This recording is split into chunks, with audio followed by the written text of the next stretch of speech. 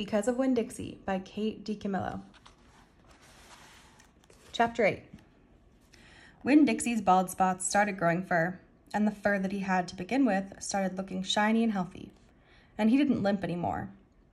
And you could tell that he was proud of looking so good, proud of not looking like a stray. I thought what he needed most was a collar and a leash, so I went into Gertrude's Pets, where there were fish and snakes and mice and lizards and gerbils and pet supplies. And I found a real handsome red leather collar with a matching leash. Winn-Dixie was not allowed to come inside the store. There was a big sign on the door that said no dogs allowed. So I held the collar and the leash up to the window.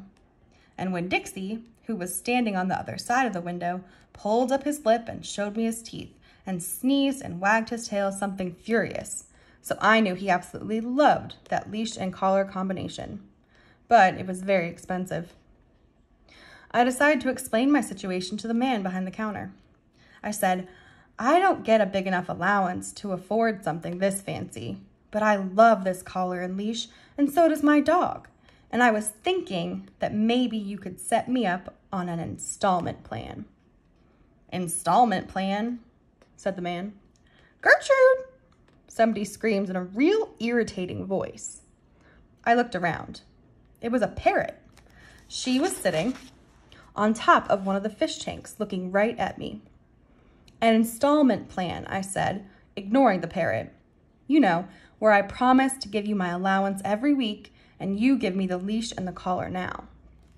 I don't think I can do that, said the man. He shook his head. No, the owner, she wouldn't like that. He looked down at the counter. He wouldn't look at me. He had thick black hair, and it was slicked back like Elvis Presley's. He had on a name tag that said Otis. Or I could work for you, I said. I could come in and sweep the floors and dust the shelves and take out the trash. I could do that. I looked around Gertrude's pets. There was sand sunflower seed shells and big dust bunnies all over the floor.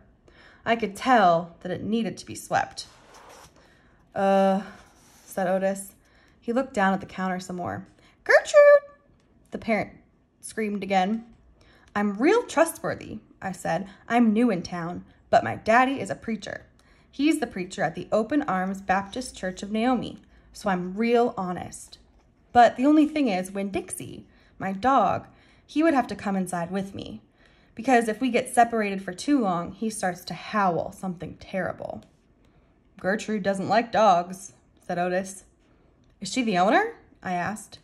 Yes, I mean, no. I mean, he finally looked up. He pointed at the fish tank. That Gertrude, the parrot. I named her after the owner. Gertrude's a pretty bird, screamed Gertrude. She might like Winn-Dixie, I told Otis. Almost everybody does. Maybe he could come inside and meet her. And if the two of them get along, then could I have the job? Maybe, Otis mumbled.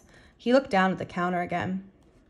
So I went and opened the door, and Winn-Dixie came trotting on inside the store.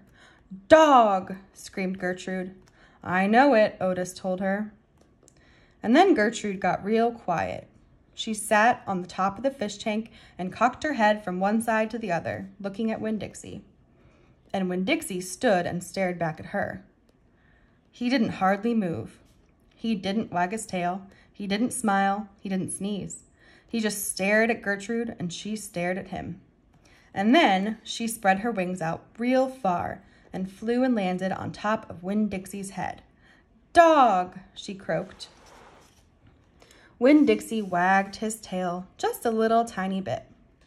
And Otis said, you can start on Monday. Thank you, I told him. You won't be sorry. On the way out of Gertrude's Pets, I said to Winn-Dixie, you are better at making friends than anybody I have ever known. I bet if my mama knew you, she would think you were the best dog ever.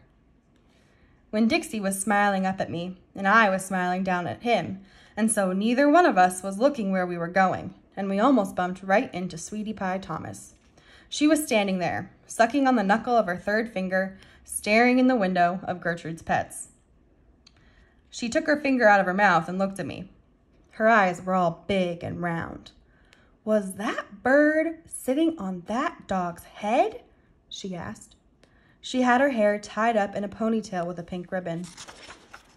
But it wasn't much of a ponytail. It was mostly ribbon and a few strands of hair. Yes, I told her. I seen it, she said. She nodded her head and put her knuckle back in her mouth. Then she took it out real again real quick. I seen that dog in church, too. He was catching a mouse. I want a dog just like it, but my mama won't let me get no dog. She says if I'm real good, I might get to buy me a goldfish or one of them gerbils. That's what she says. Can I pet your dog? Sure, I told her. Sweetie Pie stroked Winn-Dixie's head so long and serious that his eyes drooped half closed and drool came out of the side of his mouth. I'm going to be six years old in September. I gotta stop sucking on my knuckle once I'm six, said Sweetie Pie. I'm having a party. Do you want to come to my party? The theme is pink. Sure, I told her. Can this dog come? she asked. You bet, I told her. And all of a sudden, I felt happy. I had a dog, I had a job, I had Miss Franny Block for a friend, and I had my first invitation to a party in Naomi.